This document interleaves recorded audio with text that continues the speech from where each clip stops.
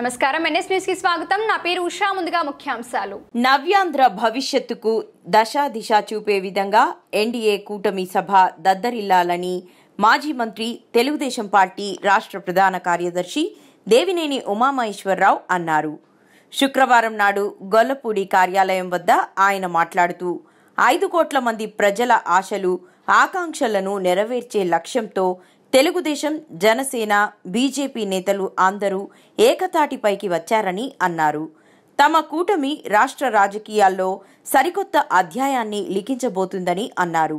జగన్మోహన్ రెడ్డి అరాచక ప్రభుత్వాన్ని TDP Janasena BJP కూటమి కూకటి వేళ్ళతో పెక్కిలించి వేస్తుందన్నారు.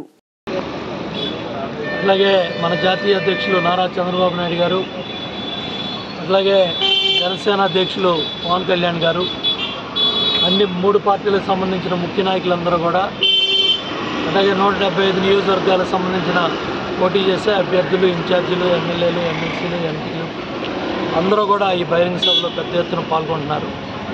మరి మన పార్టీ దిశ దశ నిర్దేశం చేసే విధంగా మూడు పార్టీల ఉమ్మడి బహిరంగ సభని మరి పెద్ద ఎత్తున లక్షలాది మంది తరలిచ్చే ఈ సభలో మరి మన నియోజకవర్గం నుంచి కూడా ప్రతి ఒక్క కార్యకర్త నాయకుడు యూనిట్ క్లస్టరు బూతు గ్రామ పార్టీ మండల పార్టీ నియోజకవర్గ పార్టీ రాష్ట్ర పార్టీ నాయకులు ప్రతి ఒక్కళ్ళు అందరూ కూడా ఎవరైతే సాధికార సమితి సమి కేఎస్ఎస్ కుటుంబ సాధికార సమితి ఎనిమిది వేల ఐదు వందల మంది సభ్యులు ఉన్నారో అంద మన కుటుంబం తెలుగుదేశం పార్టీ కుటుంబం అందరం కూడా ఈ చిరలూరుపేట బహిరంగ సభ కదిలెళ్ళాలి ప్రతి ఒక్కళ్ళు కూడా సమాచారం స- సంబంధిత వాహనాల ఏర్పాటు కూడా ఉంటుంది.